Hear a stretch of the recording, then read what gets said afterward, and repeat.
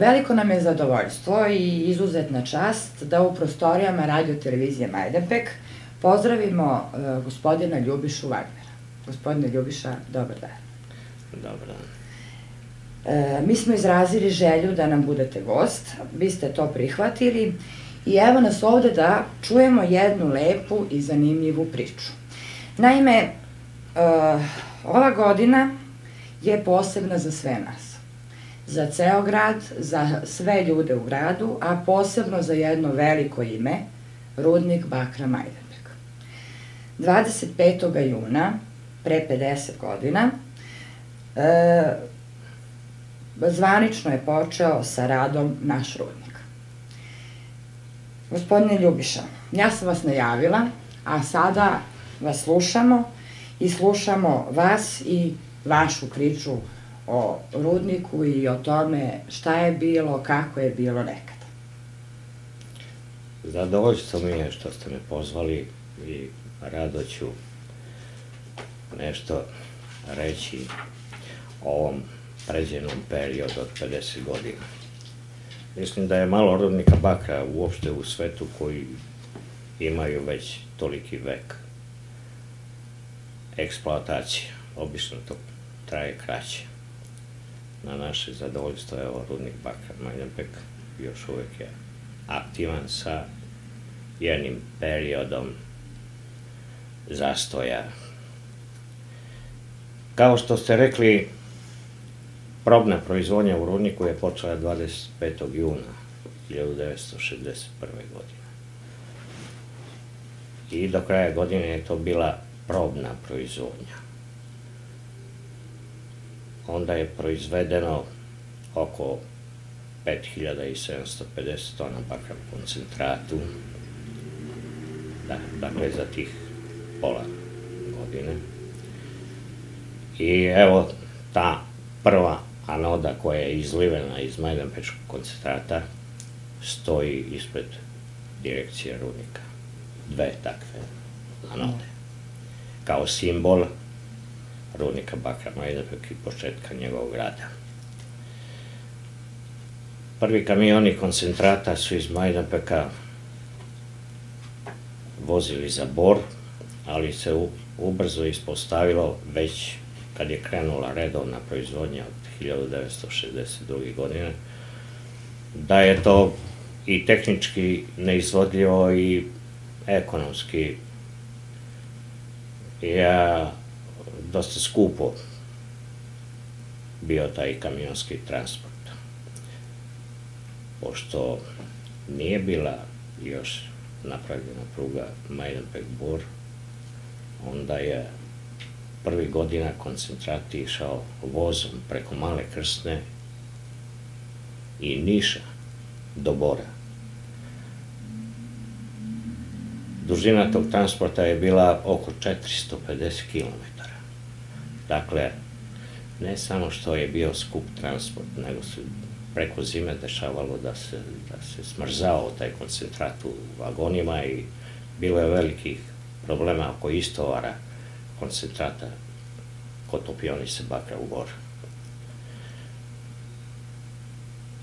Ta, ta, taj e, prvi period rada Majdanpeka od pet godina, od 1961. do 1965. je bio projektovan na proizvodnju od oko 25.000 tona bakra u koncentratu i on je uspešno i ostvaren. Ali istovremeno je odna, odnos počeli pripreme za izgradnju takozvane druge faze rudnika Bakra Majnabeka. Sve pripreme neophodne od projektovanja do izvođenja radova. I ta takozvana druga faza izgradnje rudnika išla je u dve etape. U prvoj etapi se išlo na povećanje proizvodnje od blizu 40.000 tona godišnje bakra u koncentratu i to je završeno oko 1968. godine. Onda je počela druga etapa gradnje koja je već išla na preko 50.000 tona bakra koncentrata godišnje i ona je završena 1971. godine. Uh, se do kraja, posle 1975. godine, dograđeni su kapaciteti za proizvodnju od preko 55 do 60.000 tona bakra koncentrata. Ali to je sve teklo fazno i sistematski. Onako kako je povećavana proizvodnja, tako je tako se odvijala i opremljenost rudnika, recimo na površinskom kopu, potrebnom mehanizacijom, pa preko pogona usitnjavanja, odnosno drobljenja, do same flotacije. E, to ste verovatno već imali priliku da čujete da u početku da su prvi kamioni bili nosivosti od oko 30 tona, prvi bageri od 4,5 kubika, kašika, kasnije i, i ostala pomoćna mehanizacija. Kasnije, kako je rasla proizvodnja, tako su nabavljeni i novi kamioni nosivosti 65 tona, pa onda 150, pa 170 tona nosivosti, odgovarajuće bušilice, bageri, i ostala pomoćna mehanizacija, buldožeri, grejderi, turno traktori i tako dalje. Dakle, već krajem 1975. godine mi u rudniku, rudnik je osposobljen za preradu od oko 13 miliona tona rude godišnje sa 55 do 60 hiljada tona bakra koncentrata. E sada, ako bih se osvrnuo na ovaj period 50 godina, ja bih mogao da ga podelim u dva dela. Prvi deo je period od 1961. do 1991. godine. To je period od 30 godina najuspešnijeg rada i proizvodnje u rudniku bakra Majdana. To je period jednog dinamičnog razvoja i velikog uspona rudnika koji je povukao za sobom i ostale oblasti privrednog i društvenog života u Majdanbeku. A onda je, nažalost, posle 1991. godine počela neka silazna mutanja rudnika, da bi u zadnjih deset godina eto, nekako simbolično preživljavao. Ja bih sada potencijirao ponovo onaj period do 1991. godine. Trebalo je posle izgradnja svih tih kapaciteta u rudniku održati tu proizvodnju, veliku proizvodnju.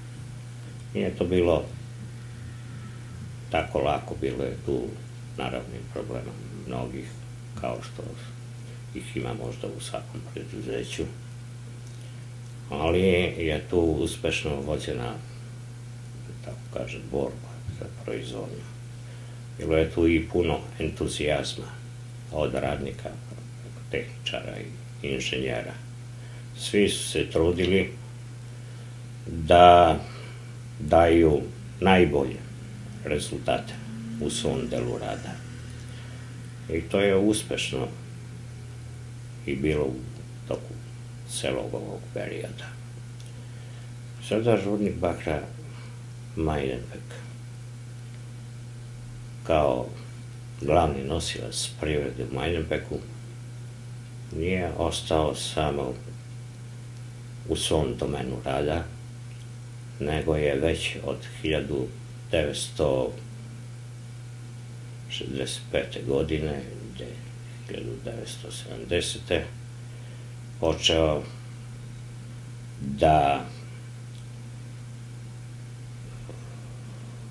razmišlja o izgradnji još nekoliko fabrika koje bi radile na bazi proizvodnje bakra, zlata i srebra.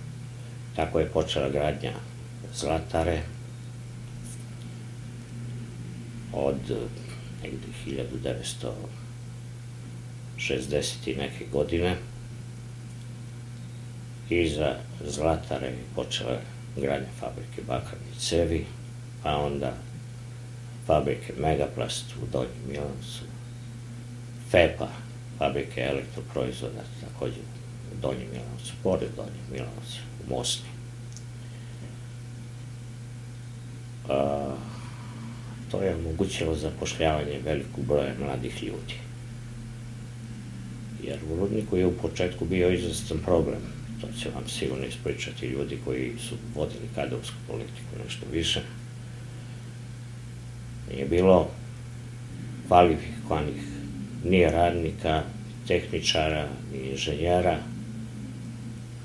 ali je posle kroz određene kurse, kroz obuku, kroz slanja stručnjaka i radnika u inostranstvu da bi videli kako se u rudnicima bakra radi.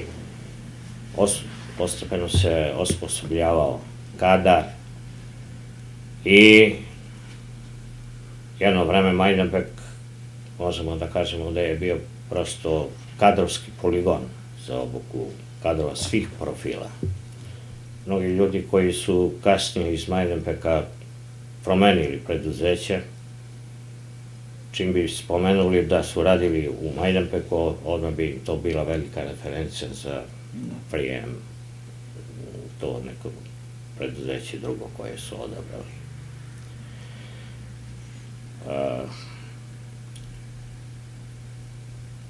Zlatara je u početku počela sa oko 12 radnika, a je završila je skoro sa 900 radnika, dok je bila u usponu svoga razvoja. Fabrika bakarnih cevi je isto jedno vreme dostigla preko 600 zaposlenih, FEP u Donjem Milanovcu preko oko 400, Megapress preko 200 i tako dalje. Tako da se to u čitavom jednom periodu od 10 do 15 godina prosto nije znalo za pojam nezaposlenosti. Bila je velika zaposlenost. Ako se sabere koliko je ljudi bilo u rudniku, plus u ovim fabrikama i ostalim posle delatnostima koje su pratile čitav život u Majnepeku, onda se taj broj zaposlenih kretao na preko 8000. Možda malo i više. Ali da se vratimo ponovo na sam rudnik. A,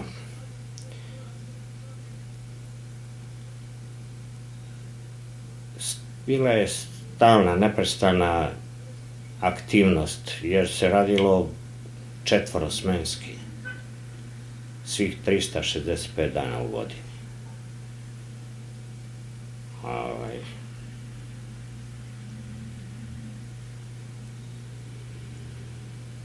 u početku su cene bakra pre svega bile dr regulisane od strane države i one su bile nešto ni, znatno niže od tržišnih cena. Sve do 1965. godine kad je došlo do takozvane privredne i društvene reforme u tadašnjoj federativnoj Narodnoj republici Jugoslaviji tada su cene, posle toga su cene nešto približene svetskim cenama, ali su ipak te kasnije ovaj, uvedene, odnosno izborene tržišne cene. Jer eh,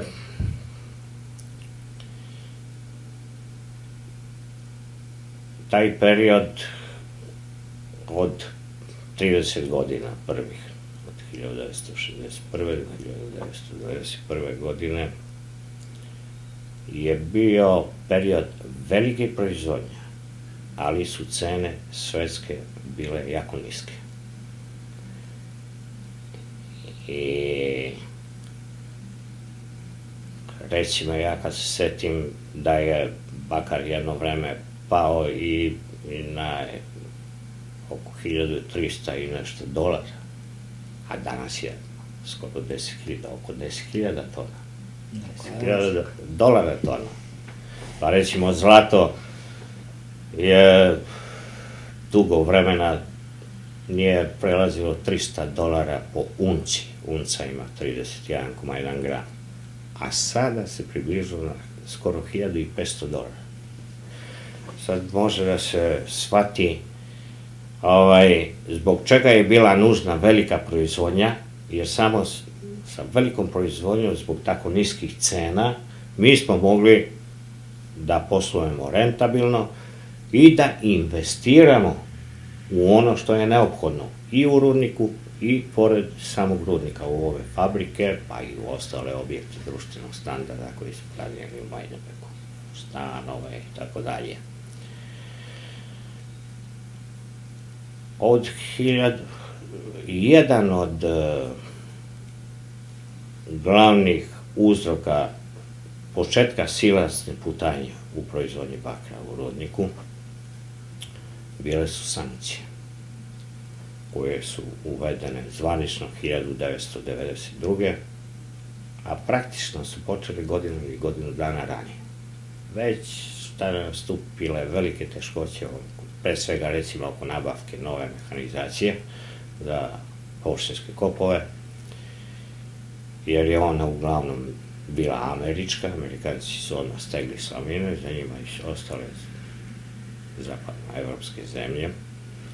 I tu je već počeo postepen pad, do, a onda su nastali oni drugi problemi, ratovi, NATO bombardovanje, posle toga oktobarske promene, od tog perioda do sada već od 2000. godine, pa evo do unazad godinu dve, proizvodnja neka je bila simbolična. E, tu se dosta lutalo, ne samo oko RTB-a Bor i Rudnika Bakra Majnepek, oko privatizacije. I izgubilo se veliko vreme,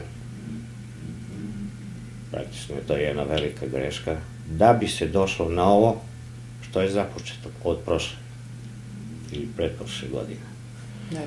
Da je to odmah godinu, dve posle tih promena urađeno što je sada urađeno i to u mnogo boljim, boljim okolnostima, jer je, su i sredstva bila bolja tada, onda bi ceo RTB i, i sa njim i Rudnik Bakra Majnapek uhvatilo, uhvatilo ovih nekoliko godina kada je velika konjunktura cena.